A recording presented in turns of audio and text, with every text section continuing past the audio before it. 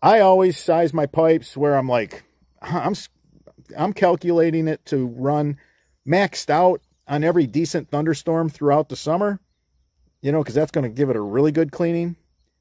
And I stay away from that oversizing of the system. I see it done all the time. I see guys using six inch where there's no there's no reason to use it. You can run two four inch.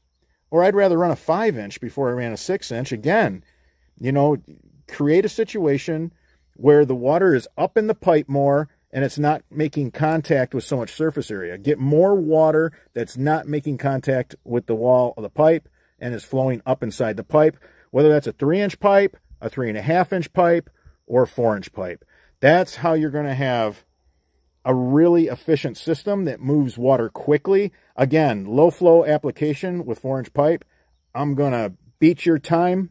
Doesn't matter what day of the week with a three and a half or three. If it's a low flow application and these pipes mathematically can handle it, I'm going with one of these smaller diameters.